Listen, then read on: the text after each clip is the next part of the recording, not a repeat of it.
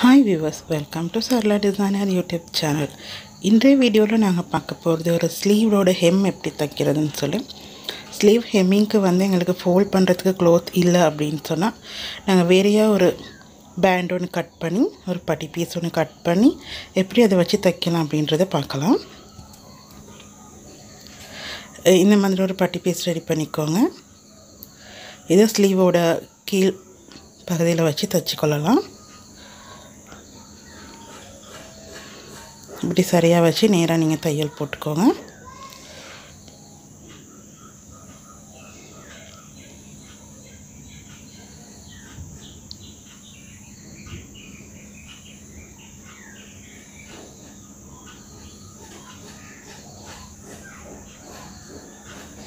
இந்த மாதிரி கண்டினியூவாக தையல் போட்டு டக் பண்ணி முடிச்சுக்கோங்க.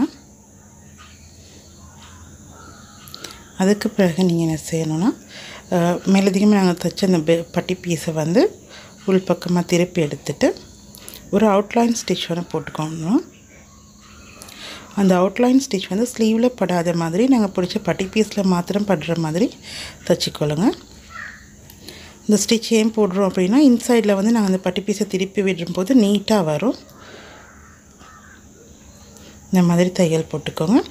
அதுக்கு பிறகு வளமையாக நாங்கள் வந்து ஹெம்மிங் ஒன்று எப்படி பண்ணுவோமோ அதே மாதிரி மடித்து தைச்சிக்கொள்ளலாம்.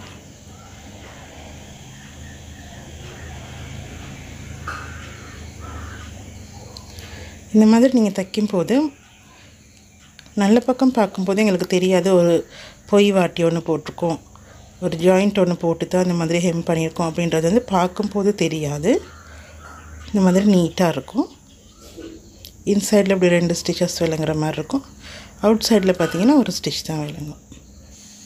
இந்த வீடியோ உங்களுக்கு யூஸ்ஃபுல்லாக இருக்கும்னு நினைக்கிறேன். மீண்டும் ஒரு நல்ல வீடியோவில் சந்திப்போம். Thank you so much